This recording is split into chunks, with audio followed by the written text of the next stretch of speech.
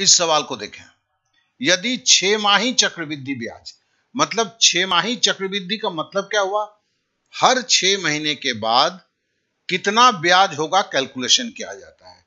देखो, चक्रवृद्धि ब्याज साधारणतः वार्षिक होता है। ठीक है ना, हमारे देश में। तो मतलब साधारण ब्याज हो, चक्रवृद्धि ब्याज हो, एक साल जब कंप्लीट हो जाता है, जब 12 महीना तीन सौ पैंसठ दिन कंप्लीट हो जाता है, उसके बाद ब्याज का कैलकुलेशन होता है। लेकिन कभी कभी ये ऐसा भी होता है कि पहले ही बोला जाता है कि भाई छह माही चक्रवृद्धि ब्याज।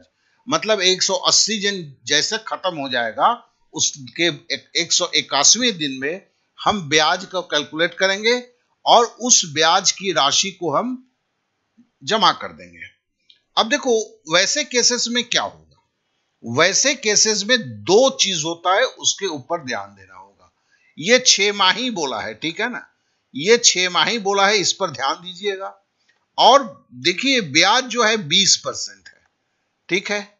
तो बीस परसेंट का ब्याज यहाँ देखिए, हमने क्या लिया हुआ है? दस परसेंट। छह माही मतलब साल में दो बार। तो बीस परसेंट के जगह पे छह माही में ये दस परसेंट हो गया। अब बोलता है अट्ठारह माह। अब समय का सीमा देखिए, यहाँ अट्ठारह माह है, ठीक है? अब इस 18 माह क्या चेंज हो जाएगा? देखो 18 माह मतलब हम तीन साल पकड़ रहे हैं कैलकुलेशन में। क्यों हम कैलकुलेशन में तीन साल पकड़ रहे हैं? छ महीना करके 18 महीना कितना होगा? 18 महीने बटे छ तो बराबर क्या होगा? तीन होगा। चूँकि हम तीन साल, हम, हमारा जो करने का तरीका है, ये हो या फॉर्मूला मेथड हो, जो भी हो हम सालाना कर रहे थे। अब यह क्या है कि छह माही हो गया तो हम इसको इक्विवेलेंट टू तीन साल बोल रहे हैं। मतलब ये समकक्ष है, तीन साल नहीं है, समकक्ष है तीन साल का। तो हम उसी तरह देखो, मेरा थ्री थ्री वन ही फॉर्मूला है ना, तीन साल का। ये अट्ठारह माह था, लेकिन अट्ठारह माह क्या हो गया, ये तीन साल हो गया। अगर यही चीज़ एक साल बोला होता, ये अट्ठारह माह के जगह पे हम, अगर मेरे को बारह माह बोलता तो क्या होता? अगर ये बारह माह बोलता तो क्या होता? तो बारह माह मतलब छह माह करके दो बार होता तो मैं दो साल का मैं कैलकुलेशन करता। और दो साल का कैलकुलेशन में हमारा फॉर्मूला क्या है आपको पता है?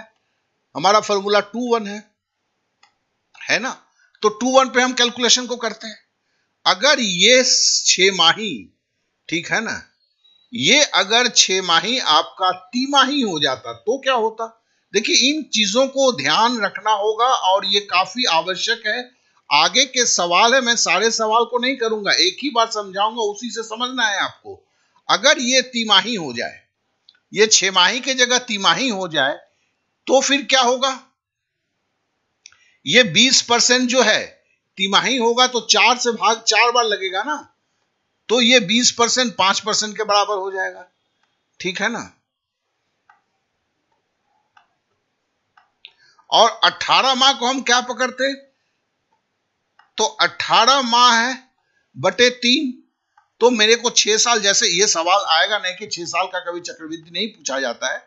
मैं जस्ट ऐसे ही एक आपको बताने की इसमें कर रहा हूँ कि ये क्या होता क्या क्या परिवर्तन हो जाते।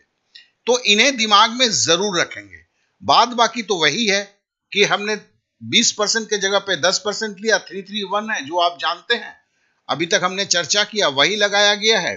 तो यहाँ पे ब्याज मिजे को तीन हज़ार तीन सौ दस रुपया मिल गया। मूलधन जो दस हज़ार रुपया यहाँ बोला हुआ है तो हमने मूल मूलधन को यहाँ दस हज़ार रुपया जोड़ दिया तो मिश्र धन जो है तेरह हज़ार तीन सौ दस रुपए हो गए। तो आशा करता हूँ इस सवाल के सारे पहलुओं को आप समझ गए हैं और इसका नोट्स बनाकर रखें, क्योंकि ये इस पर बहुत सारे सवाल आपको मिलने वाले हैं और इन सवालों को सही रूप से करने के लिए आपको नोट्स बनाने की काफ़ी ज़रूरत है। तो आशा करता हूँ कि चीज़ें आपके पास संपूर्ण रूप से क्लियर हो चुका होगा।